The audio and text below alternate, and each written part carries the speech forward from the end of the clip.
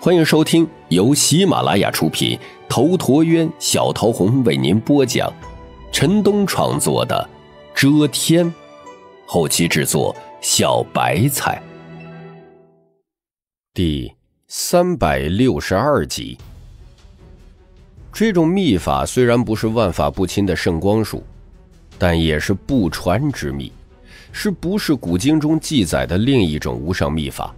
他通体璀璨，像是燃烧了起来。右手拍出，大片神焰铺天盖地，汹涌了而去。一只火焰大掌覆盖天空，狠狠地抽在了大顶上。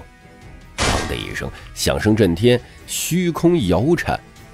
齐云林也大喝：“诸位，他已经力竭了，难以出手了，一起出手将其镇压。”黑色的大手横空，他打出虚空大手印，如云浩荡。不断的拍击玄黄铸成的鼎，响声震耳欲聋。杀！大家联手杀了他！只要将他打下万物母器铸成的鼎，他便是砧板之肉。那十几个人冲了过来，皆奋力出手。既然已经选择上前，那么只能下重手了。云断山脉，响声刺耳，穿金裂石，众人全都打向玄黄铸成的鼎。所有人都知道。不可能打碎此鼎，这种圣物积敛成的气近乎不朽，他们只求将其打飞，将母气中的少年震落出来。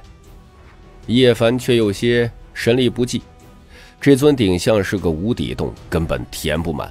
不过，他倒还不至于力竭，只是想等这些人全都冲过来而已。他没有一下子震死顶下的敌手，就是为了给人一种错觉。认为可以救出瑶光的女弟子，果然，这些人全都冲了过来。到了现在，叶凡不再保留，催动大鼎，发挥出仙威。呼的一声，下方那名女弟子化为血雾，直接的灰飞烟灭。大鼎摇动，像是天翻地覆了一般，要将整片天宇翻过来。玄黄之气溢出，冲向了四方。嗷的一声惨叫传来，十几名修士根本挡不住。这尊鼎流转出的玄黄气沉重如山，这些人如蚍蜉撼树。噗的一声，第一道身影成为了齑粉。噗噗的第二道、第三道接连化成飞灰，被玄黄气碾碎。大鼎震动，冲过来的十几名修士皆灰飞烟灭，没有一个人可以抵抗。无论展出何种秘法，全都被破灭。无论祭出何种武器。皆崩断与折毁，挡不住。这就是一鼎破万法之威。万物母气铸成的鼎一震，十方皆灭，什么都不复存在。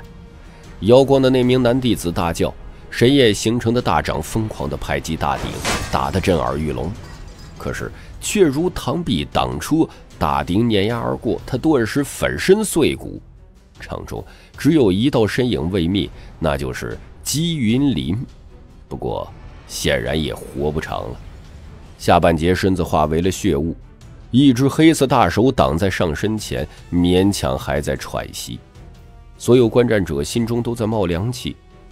这个少年太可怕了，一顶破万法，将所有敌手全部击碎，这样的战力让人胆寒。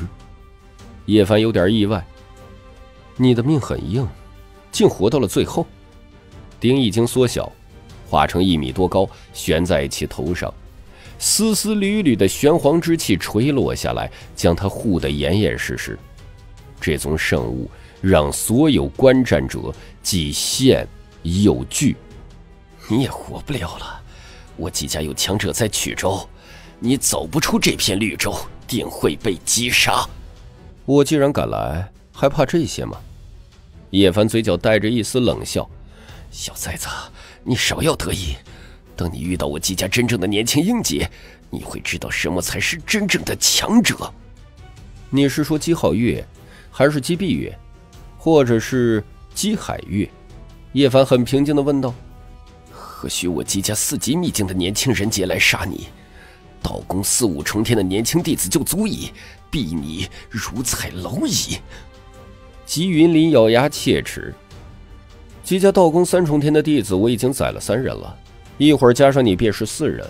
四重天的弟子很了不起吗？我会去继续尝试的。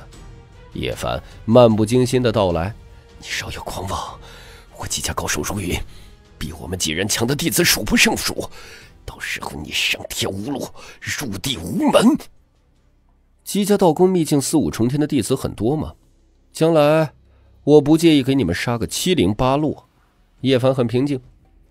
远处观战的人阵阵心惊肉跳。这个少年犹如魔王，敢向荒古世家挥动屠刀，真是充满了魔性，让他们生寒。